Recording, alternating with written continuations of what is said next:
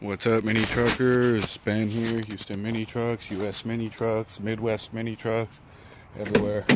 We got the uh, Honda van. One thing I wanted to show you real quick, if you ever get in a situation where you, your truck, you see how that coolant is coming up? So it wasn't working earlier.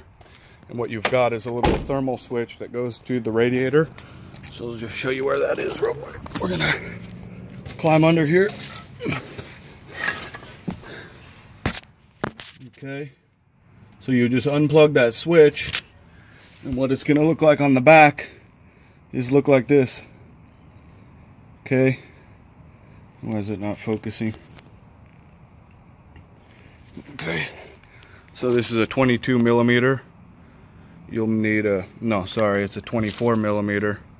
You'll need a long socket and put it on like this. Okay? And then there is coolant in there. So if you want to do it without replacing all your coolant just pull this one out and put the other one in real quick.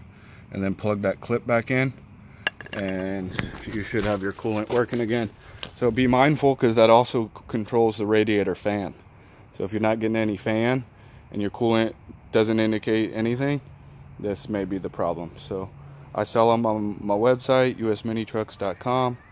Go ahead and get that part if you're needing it. Otherwise, stay cool, stay mini.